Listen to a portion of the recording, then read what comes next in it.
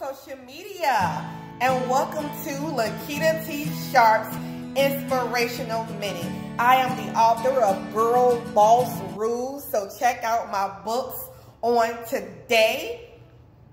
If something is not good for you, it is time to let it go. It is time to work at it. You know, if you a smoker and you smoke 10 cigarettes a day, well, maybe it's time to smoke one cigarette a day, you know, and start start off small and, you know, um, not smoke so much. And if not at all, you know, for me, I am a coffee drinker. And I, coffee, caffeine is not good for me. It literally, my body does not like ca caffeine, but I love it, coffee, but it doesn't do well for my body. So know what's good for you.